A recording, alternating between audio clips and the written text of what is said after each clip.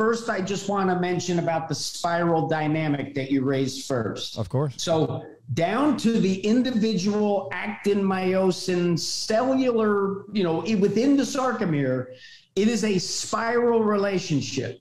Okay, so there is a spiral dynamic. There's no straight lines. Everything is is spiraling in the microcosmic sense to the macrocosmic sense. And in order to take and remove all the slack out of the system and to understand that an object in motion stays in motion as opposed to starts and stops, which is less efficient, mm. that spiral dynamic can be harnessed for greater efficiency. And it is the relationship between the skeleton, the strong architecture, that's the you know the, the, the compressional aspect, that's your architecture, and then the myofascial matrix.